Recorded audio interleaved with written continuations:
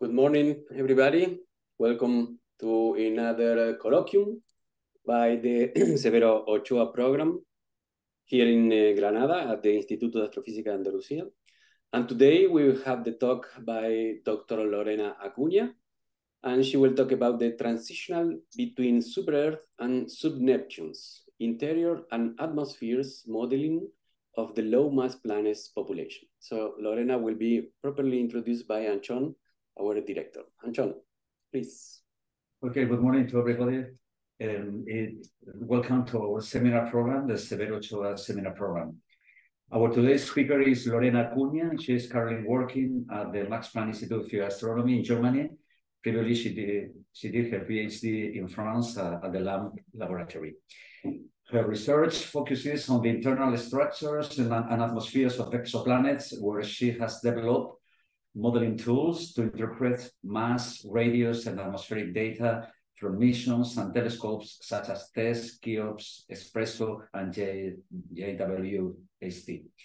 During her PhD, she developed the MSA, that is the, so-called Marseille Super Earth Interior Model, which is a self-consistent interior atmosphere model applicable to super Earth and sub-Neptunes. She has also worked on observational data to obtain the bulk composition of and interior conditions of low mass planets, including the systems, the well-known systems such as TRAPPIST-1, LHS 1140 and K2 138, and the assessment of observability of Earth-sized planets such as TRAPPIST-1c and 55 Cancri E. Today, she will talk about she will talk us about the transition between super Earths and sub-Neptunes, interior and atmosphere modeling of the low mass planet population. Thanks a lot for coming here, Lorena, and the floor is yours. Thank you so much for uh, the introduction. And also thank you so much for uh, giving me this opportunity to present this work. Um, so as you can see by the title, I was going to focus only on low mass planets, but the mm. last five to 10 minutes, I'm going also to present a sneak peek of what I'm doing right now in Max Planck Institute about gas giants too. So the exoplanet population is very diverse, far more diverse than we could have thought by just looking at the solar system planets. And to show that, I'm showing here the plot of planet mass versus orbital distance, which is also a proxy of the equilibrium temperature of planets or how irradiated they are. And by low mass planets, that is the first part of this talk I'm going to be focusing on. Uh, we mean planets that have masses between around half third of Earth mass up to more or less the mass of Neptune, which is around 15 times, 17 times the, the mass of the Earth. As you can see here is color coded according to the detection method of the exoplanet. And most of the data that I have analyzed, that essentially the mass and the radius of exoplanets, has been provided by Doppler, also known as radial velocity, by transit photometry, and also in some cases by timing, which is timing transit variations. Um, inside the low mass planet population, we have several types of planets. I will talk about some of them, particularly compact multiplanetary systems and water balls, let's see how, like, what would we know about their composition so far? So here, what I'm showing is a histogram of the radii of the exoplanets that were detected by Kepler, which was a NASA mission that used transit photometry for the detection, now is decommissioned. So you can see two peaks, and there's been a lot of work uh, looking into this, if it's really an observational bias or a physical uh, effect, and what we what they obtained in Fulton et al. was that these two subpopulations that we see in the radius with a valley in between is because of the composition of low mass planets. In particular, we have super Earths at 1.3 S radii and uh, at 2.4 S radii, we have subneptunes. What we know about their composition is that super Earths are dominated by silicates and iron, whereas uh, subneptunes are volatile rich. Now, in general lines, uh, we still have some questions that are more fine. Uh, in the case of super Earths, the question is whether they present an atmosphere that is thin and has no hydrogen helium, but rather CO2 or oxygen, or if they are bare rocks without an atmosphere. And in the case of sub-Neptunes, Um, the question is whether they have hydrogen helium or water or a combination of both. And if it's two end members, it's more like a spectrum between both. So in order to answer these questions during my PhD, I use interior models, which is one of the approaches that we can take. So how do we normally use interior models? So when we first discover an exoplanet, we have their mass and their radius characterized, and we want to know what its composition is. So what we do is plot it together with a mass radius diagram as the one you can see there on the left. Um, so in this case, you can see that there are several lines that have color uh, that indicates that the composition is constant and the radius increases as the mass increases for the same composition. There are different assumptions in interior models. Um, we can even consider, for example, the volatile that dominates uh, their layers, for example, hydrogen, helium versus water, as I mentioned before, or even for the same component, we can consider different phases. Is, for example, is water in an ice form, in a liquid form, or a gaseous form? And just like atmospheric models and other uh, observational techniques, there are the inerties. In particular, the inertia here will be for the same mass and radius, several compositions match the observed uh, density of one planet. So this is an example for 55 Cancri E, which is a well-known super Earth, uh, where we can fit mass and radius with 100% mantle composition, which is just rock, no iron and no volatiles. And also we can fit it with another composition that includes a little bit of iron, particularly 32%, which is the core mass fraction of the Earth, and a little bit of water. SW stands for supercritical water. So how do interior models work? So here we have a diagram for Marseille's interior model for super Earths. So we take as input the mass of the planet and two compositional parameters, which are the core mass fraction and the water mass fraction. And these are the masses of these two layers divided by the total mass of the planet, respectively. And then the other input is the surface pressure and temperature I will come back to the surface pressure and temperature, which are the boundary conditions on interior model, and uh, explain how we calculate them self-consistently. Now, the interior model takes this input and along a one-dimensional grid that represents the radius of the planet from the center up to the top of the last layer, we solve a set of differential equations. These differential equations uh, take different assumptions. For the pressure, we assume hydrostatic equilibrium, for gravity, it's just Gauss theorem. And then for the temperature, we assume that the driving mechanism of heat transport is convection, and therefore the uh, profile is an adiabatic profile. And then finally, the last equation for density is not a differential equation, but it's rather the equation of a state, uh, which is obtained from laboratory experiments and also quantum theory simulations for the different materials, uh, in this case, water, rock, and iron. And then finally, uh, after solving this, uh, we obtain as output the radius of the planet and the iron to silicon mole ratio. Now the iron to silicon mole ratio, since most of the iron is found in the core and most of the silicates are in the mantle, is a proxy of the uh, core to mantle ratio. But, and it's usually used to constrain degeneracies between the core and the water mass fraction, and is obtained from the abundances of the star. So let's go back to the surface pressure and temperature. Many of the planets that we characterize and discover today are highly irradiated. And as you can see here in this diagram, when I started my PhD in 2019, the assumption was that water was in liquid phase, uh, but we wanted to make this applicable to highly irradiated planets. So it needed some adaptations to take into account changes in temperature due to high radiations. So particularly what I did was use an atmospheric model to calculate the surface temperature. So I'll go back uh, to that again to explain the processes that define the atmosphere, the temperature. But for a moment, I'm going to explain how the interior and the atmosphere are coupled. So if we have a planet whose water layer is massive, what we do is fix the interior and atmosphere interface at a fixed pressure, which is 300 bars. So you can see here that this is not really the physical interface between the mantle and the water layer, but just a physical uh, and physical or a theory uh, interface between high pressures and low pressures of water. And here we are indicating it at a pressure temperature uh, plot, which is the water phase diagram. And the red dashed line indicates this uh, interface. So for pressures higher than this line, the ideal is calculated by an interior model. And for pressures below that, we are going outwards the planet, and that is calculated by the atmospheric model.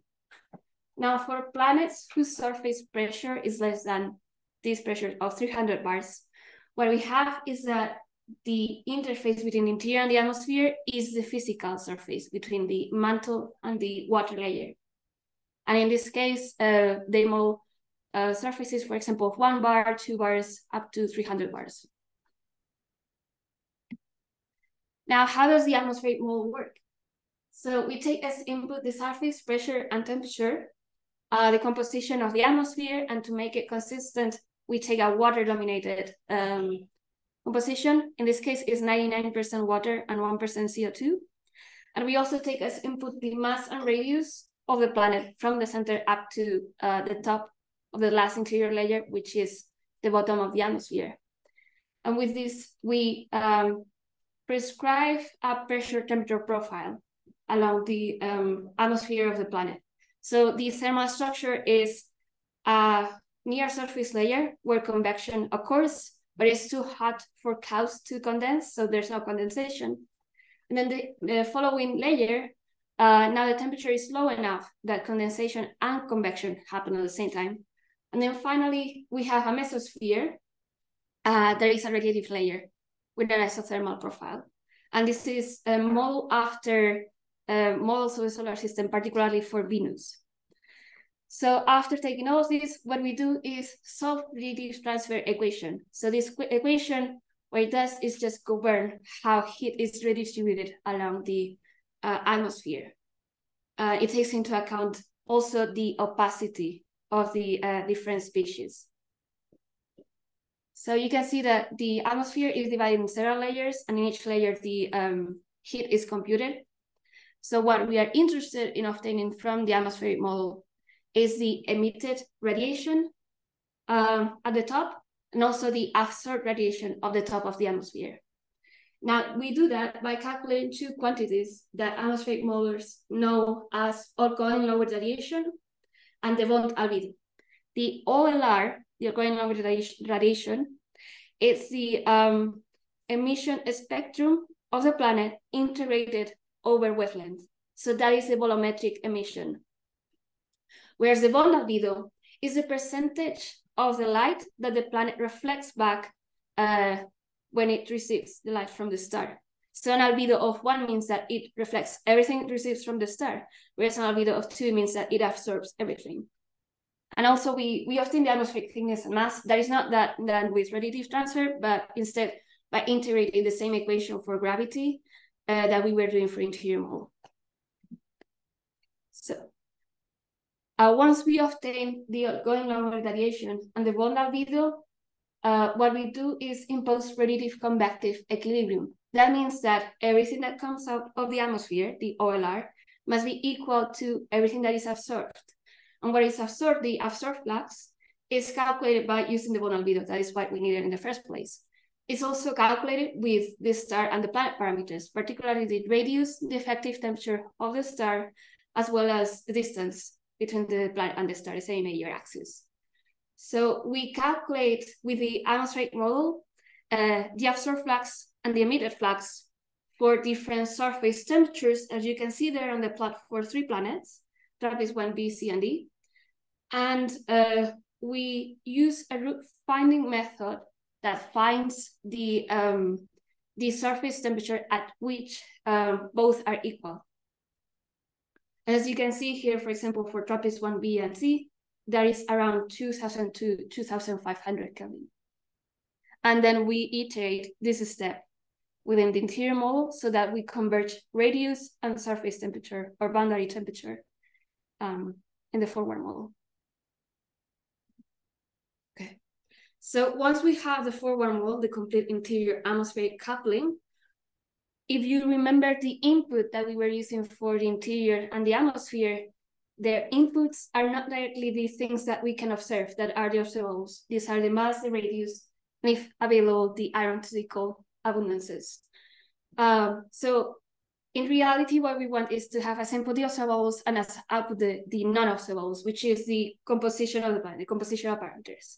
So what we need to do is use a retrieval method. So during my PhD, I focus on Markov chain Monte Carlo, MCMC, but there are also other alternatives like nested sampling, machine learning. And that is something that I would like to explore in the future. Now, the uh, benefits of using a retrieval method are it, they, it allows to explore the parameter space, especially when there are strong degeneracies. And also, we obtain the uncertainties of the non-observable parameter, uh, given the uncertainties of the observables. And as you can see here on the output of the retrieval method, what we often is the posterior distribution function, which is the statistical distribution of the non-observables. Okay, so I just explained the whole methodology, so to say, and now I'm going to present the results. I have divided the results in two sets, so to say, and this is the first set, which is the interior composition of planets in multiplanetary systems.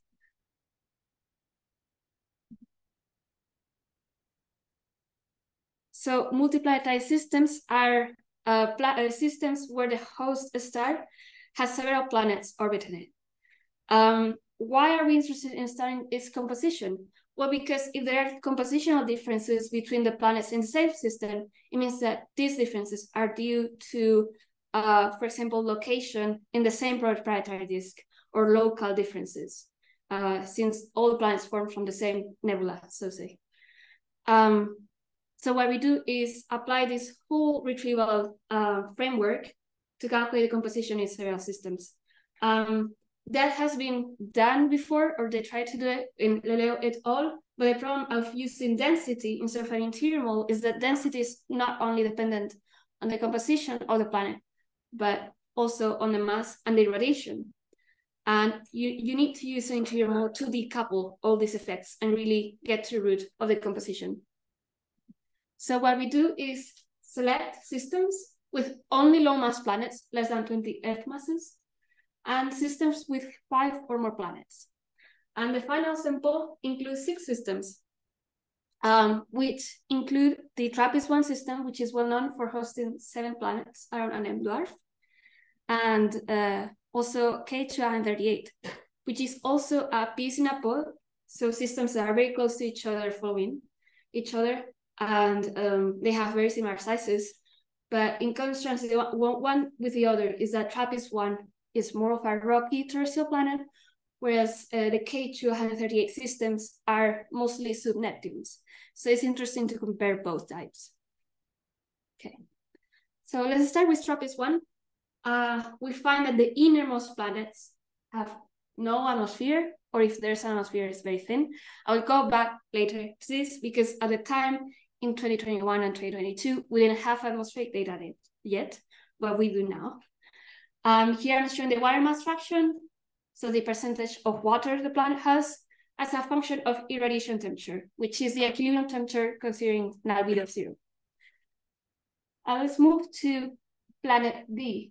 Planet D is quite tricky because it's at the very edge of the habitable zone, and depending on the atmospheric model that you use, uh, and the species that you consider, and if the model is 1D or 3D, you can obtain that it, in the surface, the planet could have liquid water or gaseous water.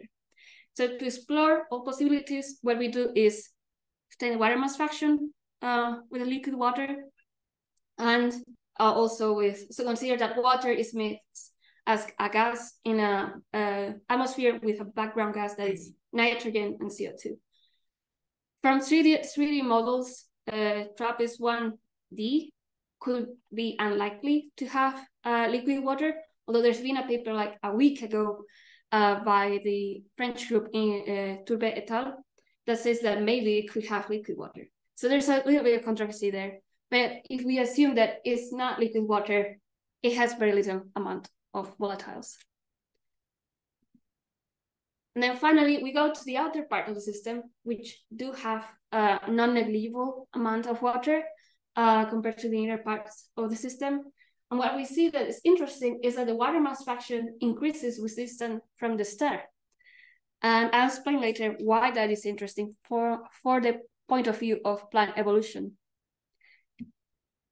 Now here I'm changing, I'm changing a little bit how I'm presenting the data. So we still have the water mass fraction, but now instead of using the radiation temperature, I'm taking the flux received uh, from the star at the top of the atmosphere, and I normalize it to the flux of the innermost planet, so that all systems have their innermost planet falling at one, and therefore it's easier to compare system to system.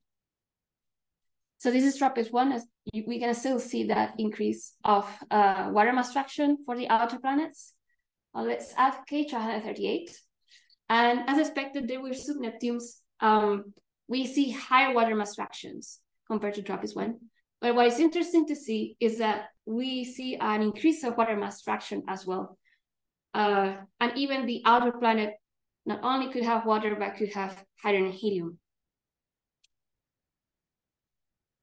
Now let's add the other systems that we analyzed.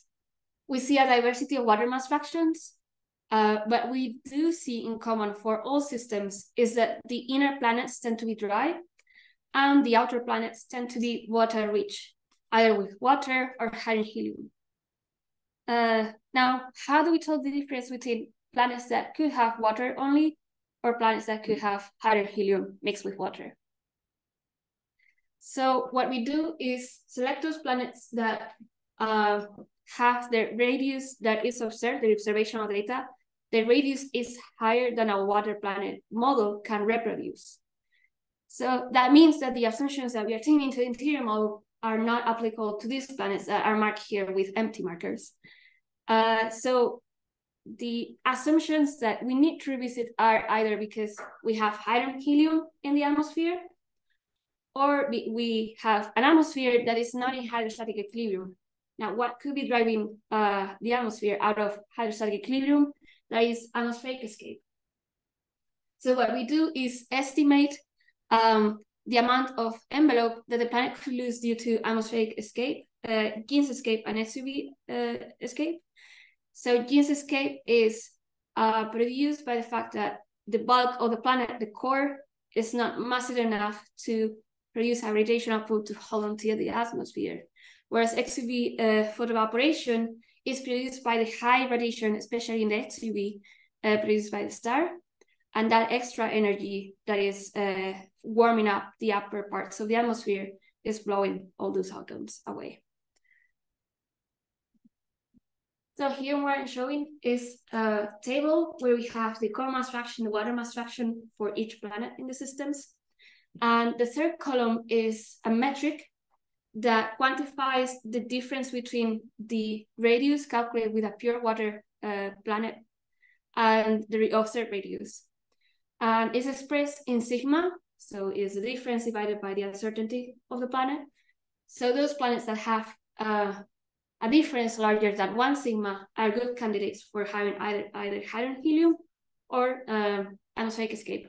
And then in the last column, what I'm showing is the mass lost due to Jeans escape uh, for hydrogen uh, in units of Earth mass.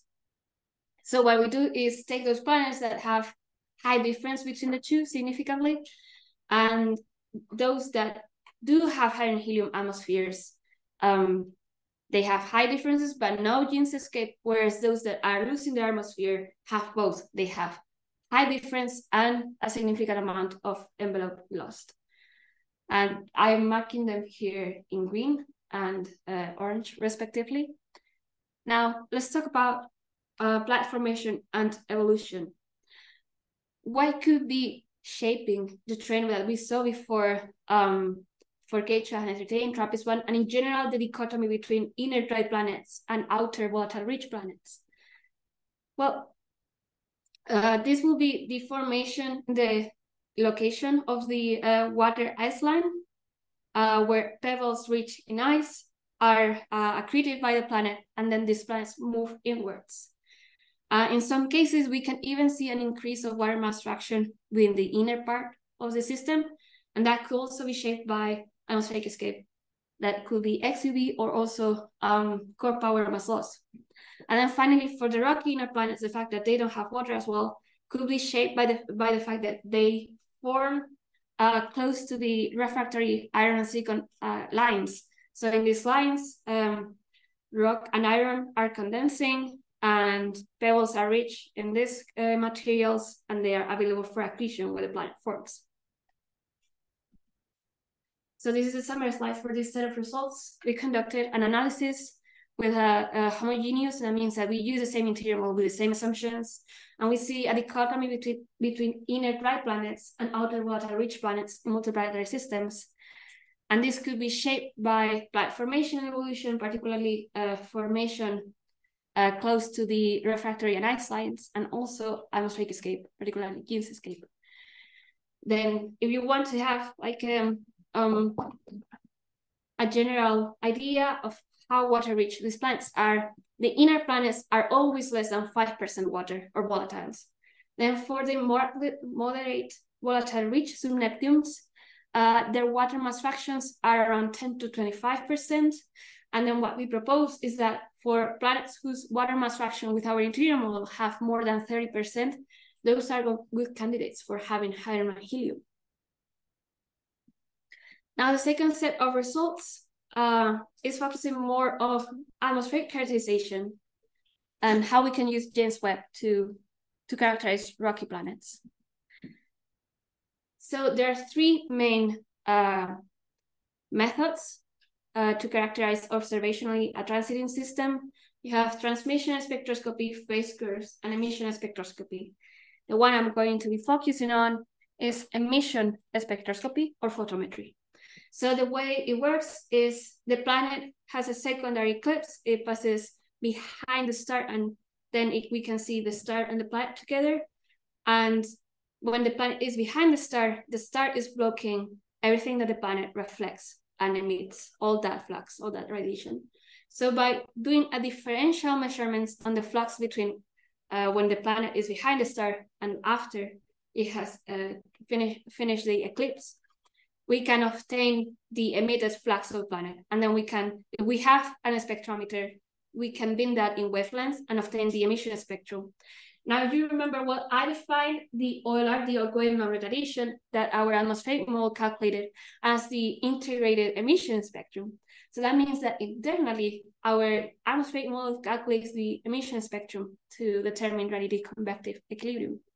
So we are going to use that together with interior model um, calculations to um, to see how the emission spectrum looks for different scenarios.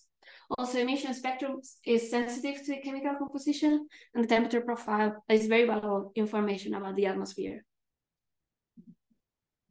So um, what we want to answer, the question that we want to answer with James Webb is, do the rocks uh, planet, so no atmosphere, and Venus-like atmospheres look the same in emission. And what we do is run the trap uh, interior modeling. In this case, I'm using TRAPPIST-1. Um, and then we obtain the posterior distribution function of the surface pressure. And what we do is sample that distribution and calculate emission spectra of how the atmosphere will look like at different surface pressures and different uh, pressure temperature profiles. And then we use um, the um, noise generator and observation generator of James Webb, which is Pandexo, to calculate the uncertainties and see if we can differentiate one scenario from the other. So these are the results. There's a lot to unpack here. So let's go with planet B in TRAPPIST-1. Uh, this is work done by Greene et al. and E et al. And what they find is that the emission is too high to be explained with a Venus-like atmosphere, even any atmosphere. So they discard um, any atmosphere presence and they say that planet B is a bare rock. And I, I will explain later why that is so interesting.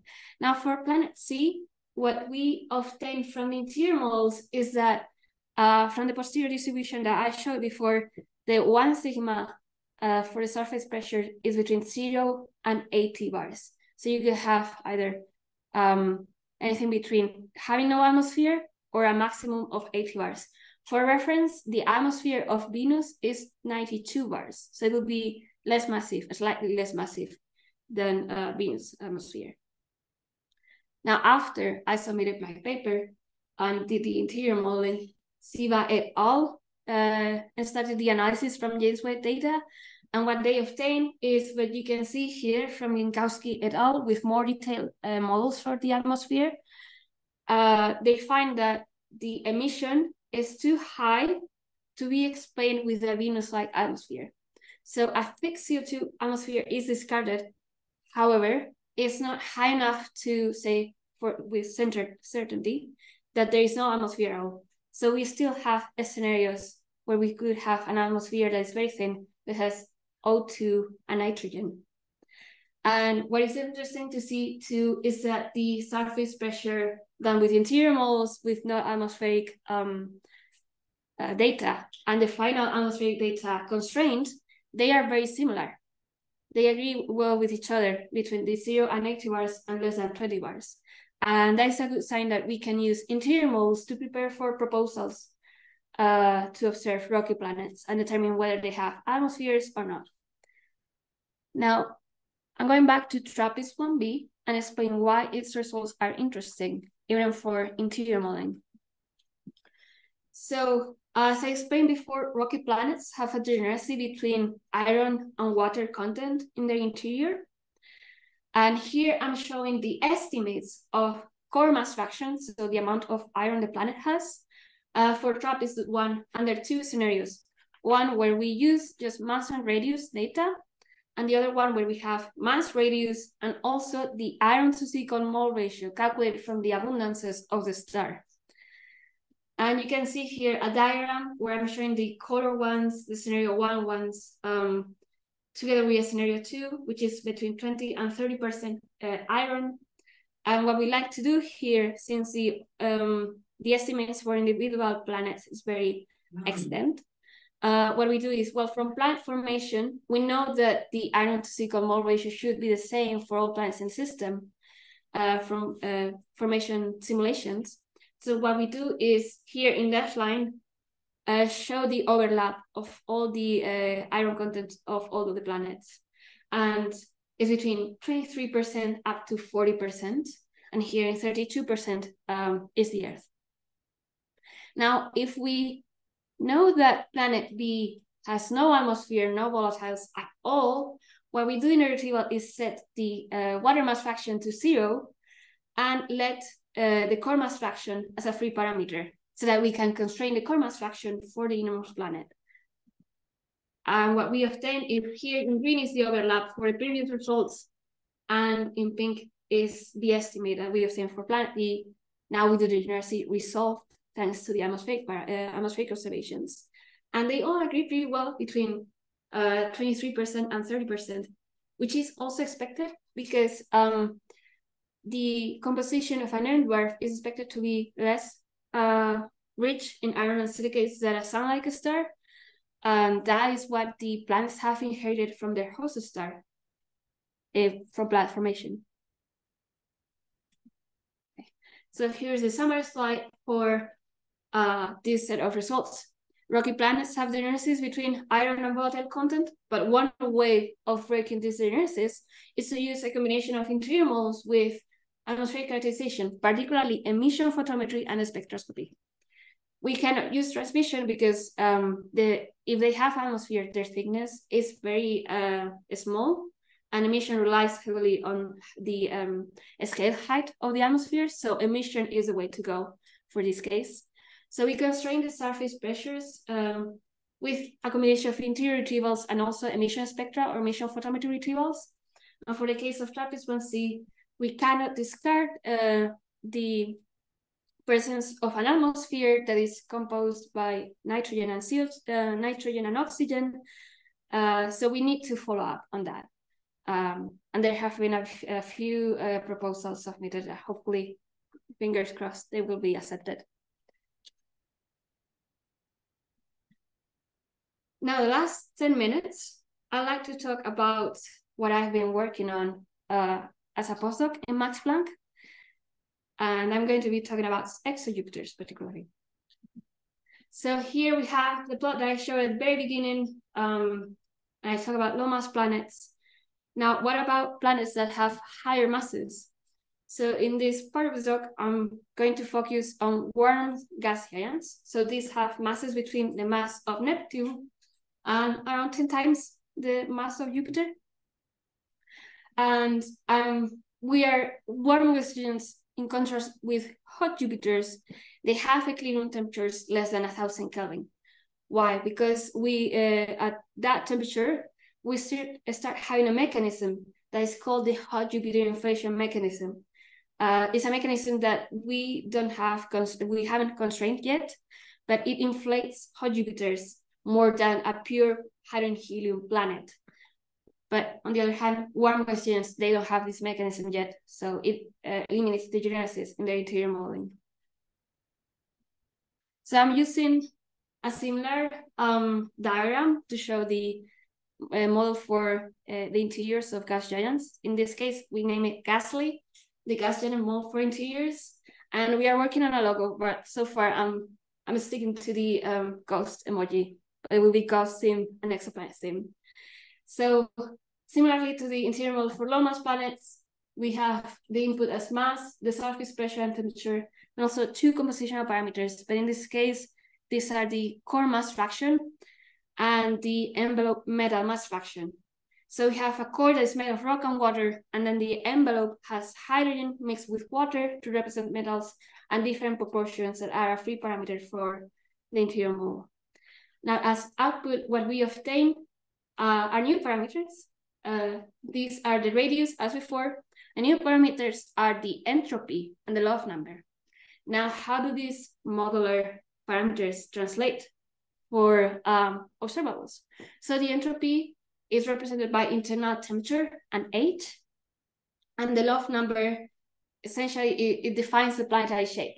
So planets that uh, have tides or rotate very fast, they are deformed, they are not perfect spheres, and this, the uh, extent of deformation, more of an ellipse than a sphere, gives information about their interior structure. So here I'm showing preliminary results uh, for uh, our interior model for gas giants. So what I did was compute mass radius relationships for Jupiter analogs, same irradiation atmospheric composition and age as Jupiter, and compare it with MESA, which is a widely used interior model for stars, but it has been adapted by Müller and Helled um, to, to gas giants because at the moment we don't have any open source uh, giant interior model. So um, what we observe is that MESA for a Jupiter analog, analog it um, underestimates the radius of Jupiter by 3%. And we wonder, why is this happening? So I, I ran several experiments, and what I did was remove the atmosphere from our model, GASTLI. And what we find is that MESA does not take into account that last bit of the uh, atmosphere, particularly from uh, 1,000 bars up to 20 millibars, and that has a non-negligible effect on the total radius of the planet. Now, you go to lower uh, masses, up to around the mass of Neptune, uh, we see even a greater difference. That is around around 10%, 11%, and that is larger because there's two effects here. The one I just talked about before, the atmospheric thickness, but also the calculation of the boundary temperature is simplified by, uh, with a gray model instead of a full physics model that we use uh, for GASTLI, uh, which is petitRADTRANS uh, by Mollière et al. And it's also open source and publicly available. So my take home message um, about the gas giant interior model is that GASTLI uh, will be open source. So it can be used to prepare um, uh, proposals, for example, for Webb or for any other observations. And it's far more flexible and computationally faster alternative to other publicly available uh, models like MESA. Now, I'm very excited to talk about James Webb that is opening um, an opportunity to characterize this uh, population or subpopulation of exoplanets by providing unprecedented precision in emission and transmission spectra, as well as upcoming observables like the shape of the planet.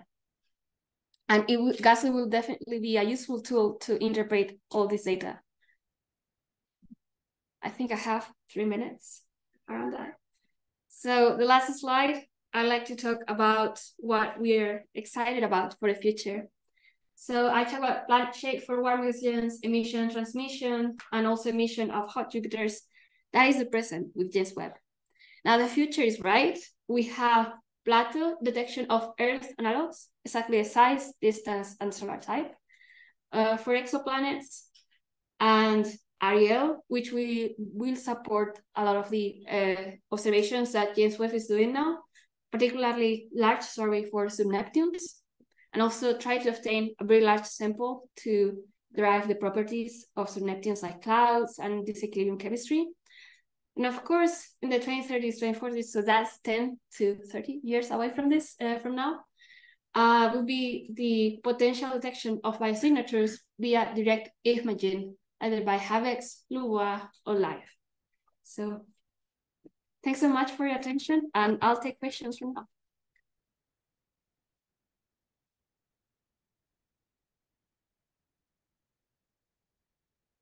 First of all, uh, thank you very much, uh, Lorena, for coming here and uh, give this very nice talk. And uh, I think it's time for some questions. Okay. Um, thank you very much. It was a very, very nice talk. Um, I have a brief question regarding one of, one of your last points uh, about the planet shape. Uh, yeah. I did not get, uh, yeah. let's say, the scale. So mm -hmm. how different has, you know, that shape has to be for me to actually observe a spectral difference. Uh, yeah, yeah. Uh, we did that calculation for a proposal. Yeah. So um, it depends on the planet, but for example, one particular planet we are doing, we propose observations. The difference has to be around the formation that we observe Jupiter. So that is a 10% difference between the radius on the um, polar radius and the radius on the equator and also you have to have a good signal to noise. Uh, so you you do that by having a high like a good number of transits that you stack together. And yes. So essentially you mean that uh, the temperature difference and the uh, concentration difference in between those regions uh, is going to change you know the spectrum uh, contribution of those things is going to change so much because uh, you mean oh oh okay um, sorry, I didn't explain. I didn't have the time to explain this. So the planetary shape, you get it. You can do it either by radial velocity or transit. And here we are doing it with transit. So what you could do is get the ingress at the egress of the transit, and that defines that is that depends on the planetary shape. And you get it for a transit. And then alternatively, what you can do is bin that and also get the spectrum what that is what we do get both at the same time. So you separate those. You yeah. combine for a final spectrum you combine with different contributions. So the shape is actually going to change those little bit contributions. So the, the shape is the same in all wavelengths. So yeah if then if you divide it in wavelengths you have the spectrum. Yeah. I understand thank you.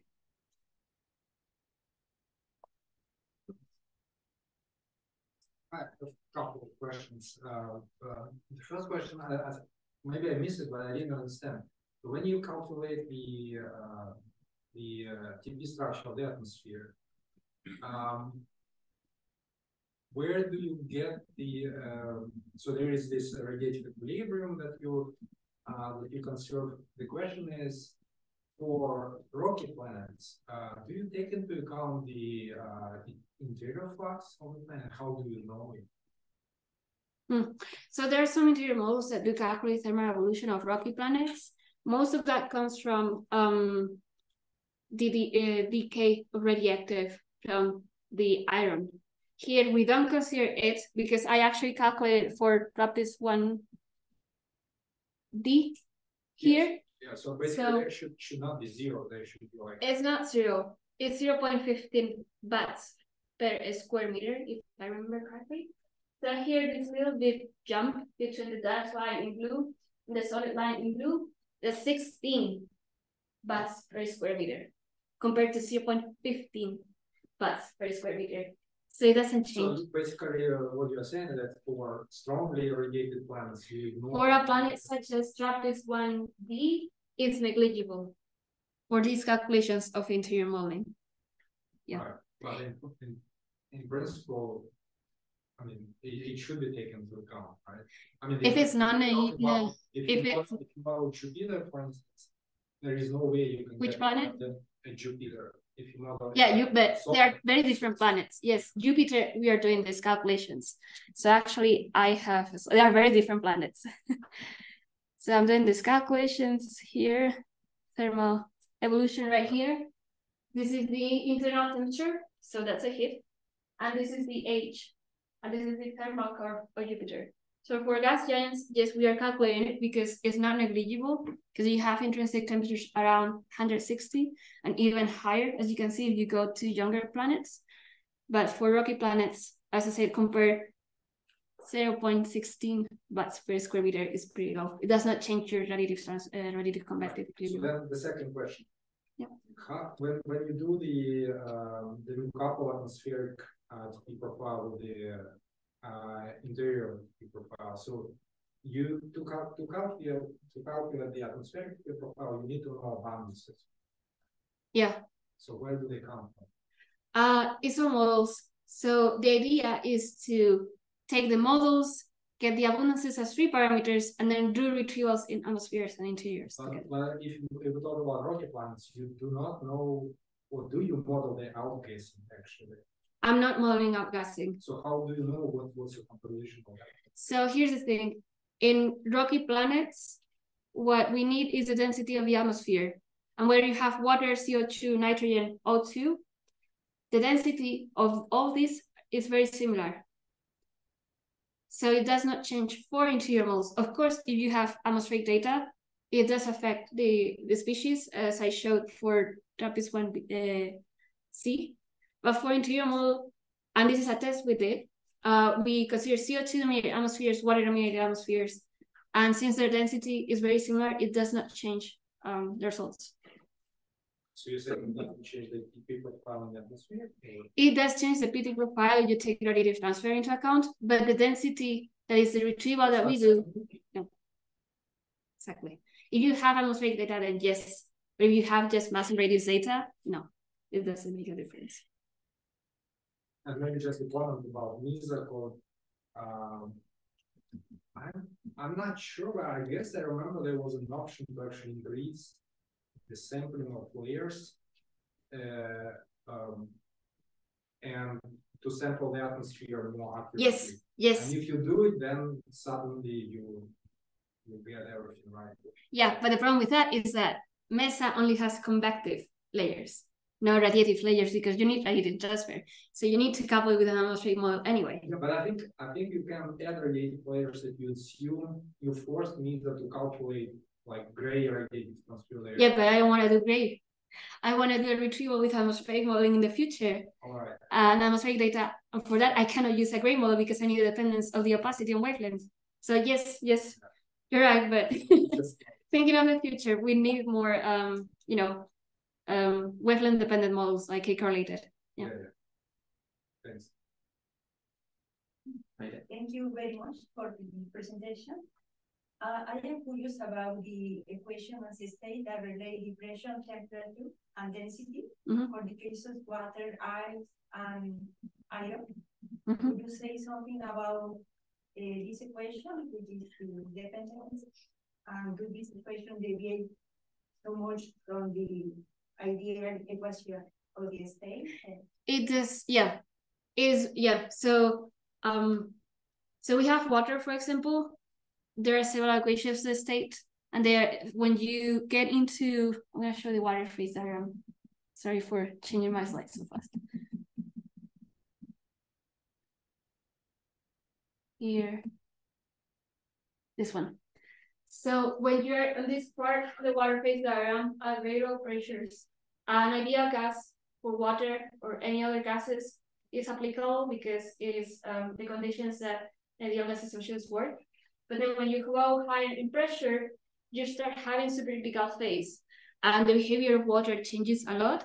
And it happens the same with hydrogen, uh, where you start having metallic hydrogen at very high pressure. So you cannot use uh, an ideal gas uh, assumption. Then for iron, um, we use in Vinet equations, which is like a theoretical framework, and then we use data from geological experiments. And also that she, that is that is not an ideal, that's a solid, yeah. Sorry, I don't have a comparison of all them. Someone else? Yes. Uh, so thank you for the, for the talk, first of all. Uh, I, I was wondering, you talked a couple of times about MCMC during the, mm -hmm. the presentation, and you said that obviously you have to do some several priors to get your stickers. Yeah. And you said that you are taking uh, radius and masses as your observables, but sometimes, as far as I know, you can actually obtain the radius and masses, and masses with, with MCMC as well. So where these masses and values come from exactly? So the masses come from um, radial velocity and transit time uh, variations for the case of TRAPPIST-1. And the radius is uh, transit photometry. And then in that data, you have the transit and you have many models that can calculate the depth. Then you calculate I mean CMC. But you can see that it's the same statistical method, but applied to a different problem. One to fit the data of the transit, and then we get that from um, from the final analysis, and then we use that into the retrieval of the interior. Yeah, exactly. I was wondering because we should take the, the radius uh, as a posterior, you obtain uh, as a posterior the first radius. Yeah, I see what you mean. Yeah. Um, you mean using the posterior of the transit photometry analysis as my prior? Mm. Yeah, um, they are normally very Gaussian unless there's some problem with the transit photometry data. So what we do is, um, since what we do is just use uniform priors for the composition and then see if the the posterior of the radius from our analysis looks like the posterior of the um of the transit photometry data. Yes. And I actually, there's a whole discussion in my thesis on what is the best priors uh, for this type of analysis. Yes. Thank you. Someone else? Maya, again? I have another one question regarding to Kepler 11. As far as I know, it's a very compact uh, planetary system, heavy. I guess there six or seven planets inside a this was your point, okay? Uh-huh. Could you could you believe that this very compact configuration uh, affect the atmospheres of the each planet? So you mean like the, the piece in a pod one after the other very closely, you could have the atmospheres. Um yeah, it definitely has an effect on the amount of volatiles. Mm-hmm. Uh, because as I said before, the configuration here is that the planets form beyond the water ice line or where you have pebbles rich in volatiles for accretion, and then they migrate inwards, and that is what yields the um, mean motion resonances one after the other very closely. And yeah, I would expect that one after the other, they have larger atmospheres and therefore bigger, like more massive envelopes. Yes. And then you, if you have XUV photoevaporation, um, you could expect some erasing of this effect, but we don't observe that what because otherwise we would not observe this dichotomy because it would blow up all the planets at the same time. Yeah.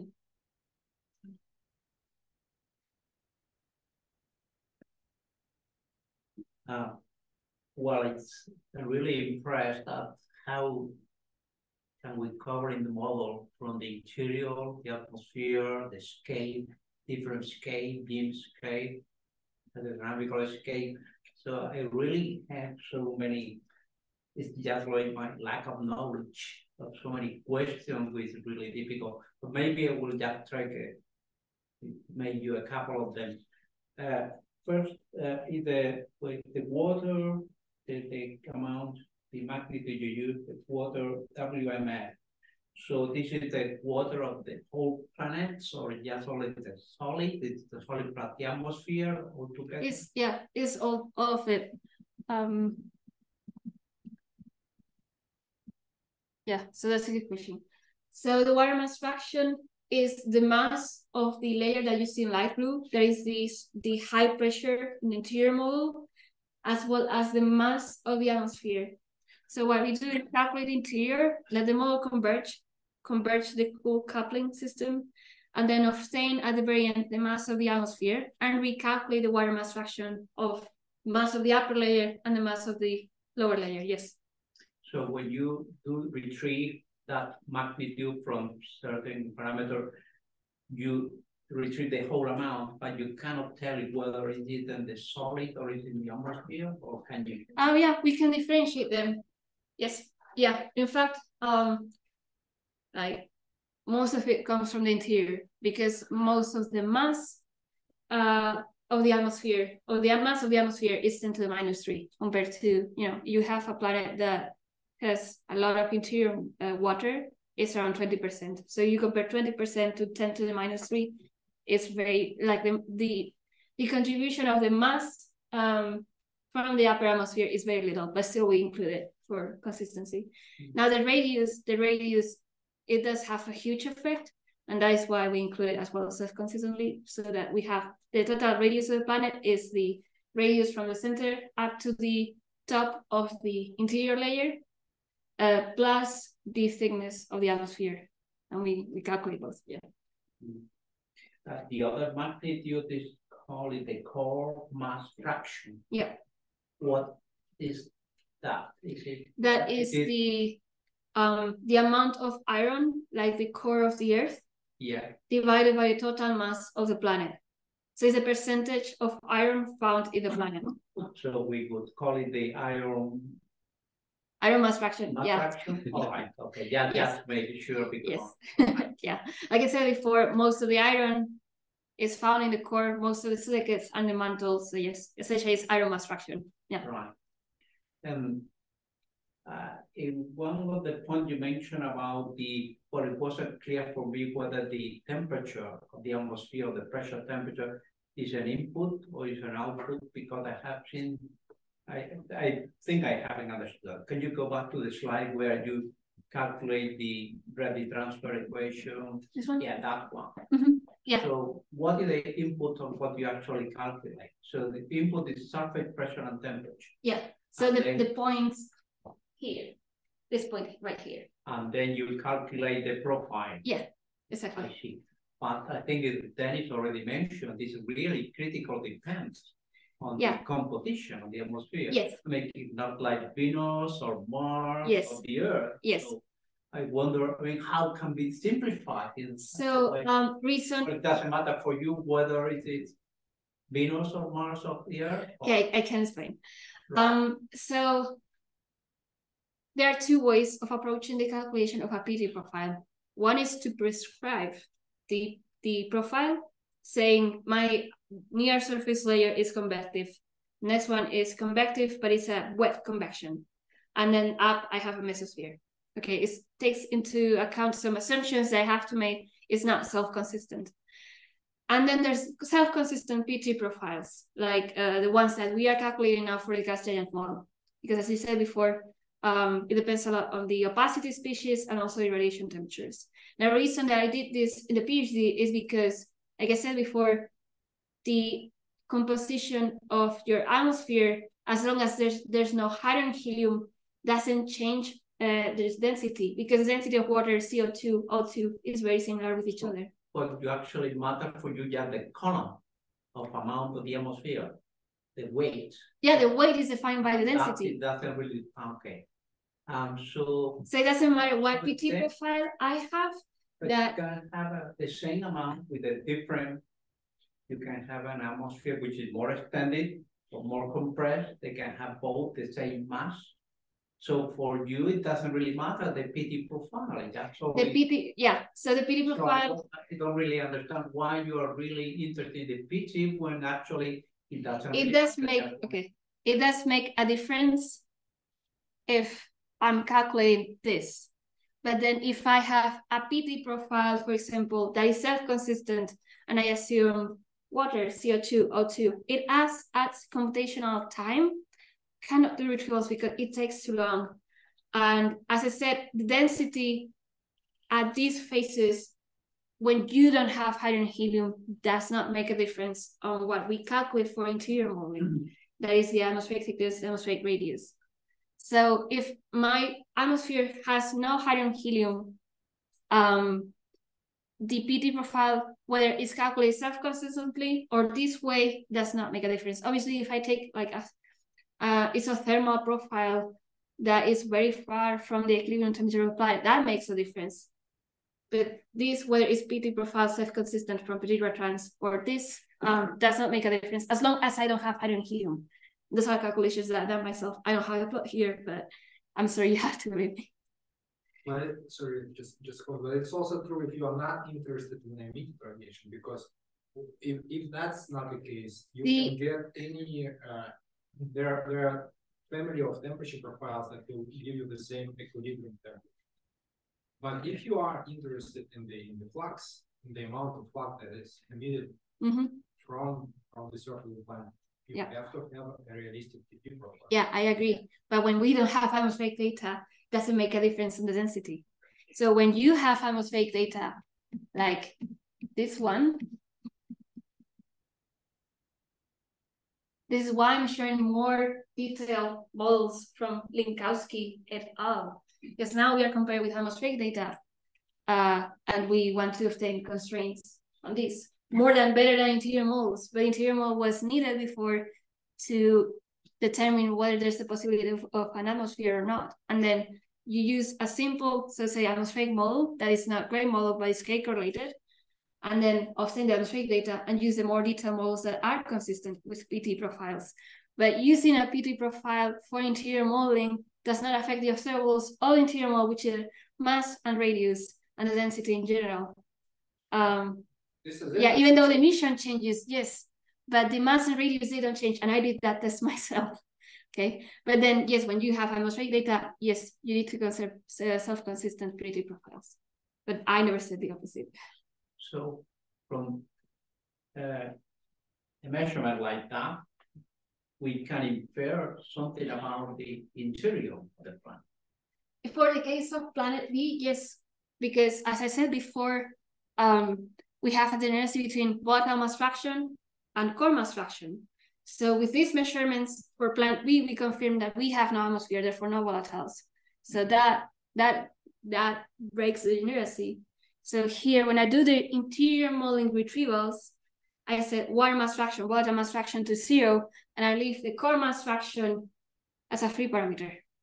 So what is the quantity that affect the spectra through the mass and then according to gravity or to the size of the planet? So what we do um, is uh, I retrieve an interior model to get the surface pressure here. This is what we obtain.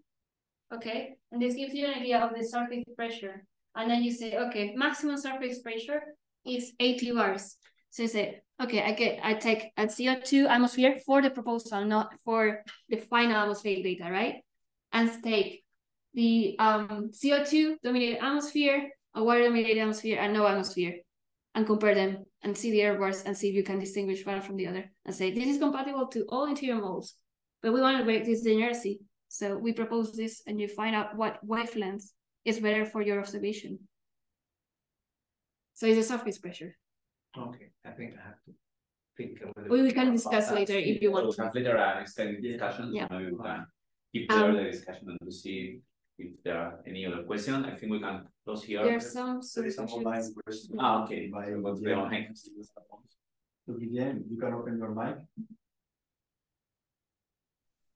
Uh, hi, I am Guillermo Anglada here from here from the IAA. Uh, thank you for this comprehensive talk. And I, I, I would like to know your opinion on the jumbos, that the so-called uh, jumbos, which are Jupiter mass binary objects. And because there is a, a recent report by Samuel Pearson and, and collaborators of, of uh, several detections of these of these uh, supposedly binary um, planetary mass objects in we, using the James Webb Telescope. I would like to know your opinion. Do you think uh, this is there are true, truly uh, Jupiter mass objects, or there are probably fake detections, or the the, the the properties of these objects can be uh, properly determined in, in this kind of observations?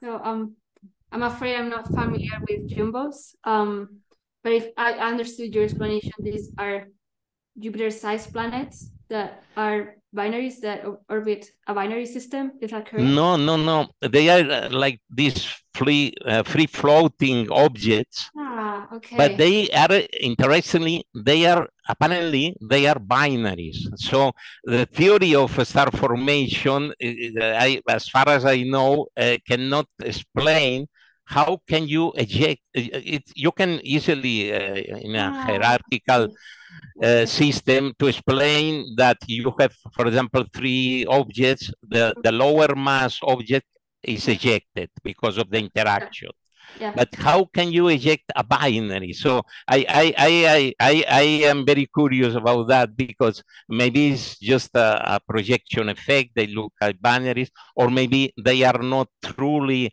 uh, Jupiter mass objects, and because you know how to obtain the properties of these objects, I am I am curious of uh, how uh, robust are are these detections. Um, I'm not familiar with that work, but I do know about floating planets and um, Jupiter mass planet being ejected a little bit. So I know free floating planets, the only parameter that you can get is the mass of the planet. And even if you get the mass, the uncertainty is quite wide. So even within those uncertainties, if you have a Jupiter mass planet, it co- is compatible with a Jupiter mass planet, could be even more massive, but I would need to see exactly the number. Uh, so that's number one. Um, and then second, even if it is a Jupiter mass planet or a binary with a Jupiter mass planet, um, I think that's quite, as you said, it's quite challenging from planet formation perspective because you need a lot of angular momentum to eject Jupiter mass planet. So if you're interested, I would look at Anders Johansen work, who works on this stuff, this type of planet formation events, like one planet gets kicked out of the system. Um, yeah, sorry. it's Yeah, not my thank- field. Thank you. I, I I am very intrigued about about this because it's, it's very very hard to understand how you can eject a binary system and and and keep them together for for a long time. So Yeah. it's uh, Yeah, no, I, I suggest you to read this this interesting uh, Astro PH paper. Thank you. Thank you. Do we have something else in the Zoom? No, so I think we can conclude here, so thank again our speaker. Thank you very much. I hope we have, invitation and uh, this afternoon, if all of you are invited, we have some